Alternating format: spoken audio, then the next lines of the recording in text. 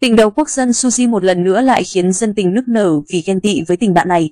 Suzy một lần nữa lại khoe khoang tình bạn ấm áp của mình với nữ ca sĩ Huyên A. Ngày 27 tháng 7, Suzy đã đăng bức ảnh chụp một bông hoa trên Instagram của mình với lời tựa Huyên A yêu dấu. Cảm ơn vì bông hoa không bao giờ tàn. Trong khi đó, Huyên A cũng đã chia sẻ bài đăng trên Instagram của mình, mình yêu bạn. Bạn tôi đã giành được giải nữ diễn viên xuất sắc nhất, điều khiến tôi thổn thức.